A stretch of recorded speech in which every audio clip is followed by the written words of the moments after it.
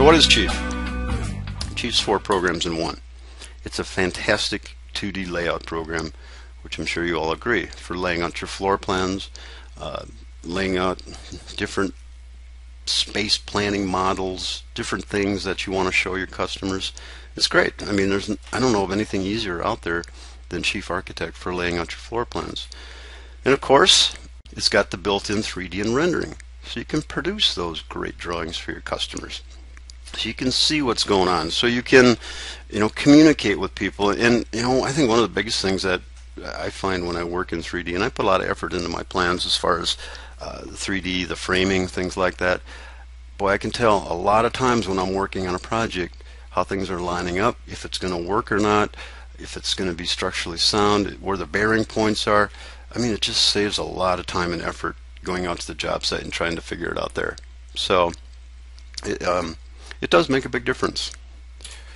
And it's got excellent 2D CAD capabilities. And we're going to talk about this tonight too. I'm going to show you some of the features in the CAD. That section that you see right there is hand drawn. I draw. I, I I don't always use the cross sections that I get from my 3D model. I'll, I'll quite often just start drawing from scratch. In fact, when I'm working with a lot of clients these days, I will. That's the first thing that we'll start with is a cross section of the project they want to do, whether it's a house, an addition, or something like that. It just helps clear up. It, it just clearly states exactly what you're going to be building. And from the cross section, you're also going to get a lot of the information that you need for your 3D model. Wall heights, ceiling heights, roof heights, fascia heights, floor heights. So a lot of times, even just a quick rough sketch of a cross section, just to kind of think through the project, can make a big difference. So those capabilities are nice. And of course, the fourth part of the program is we're able to combine all of our views on the layout pages.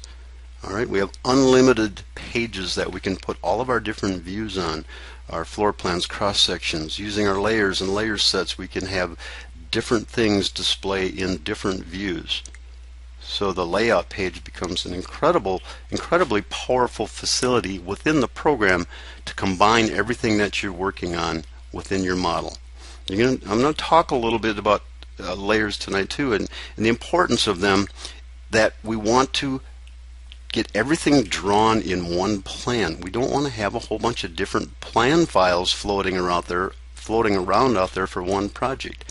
You don't want to have a different plan for your plumbing, a different one for your electrical, different one for this detail, a different one for that detail. So you want to everything have everything combined into one plan. It just makes such a huge difference in not only file management but just the way everything comes together in your plan.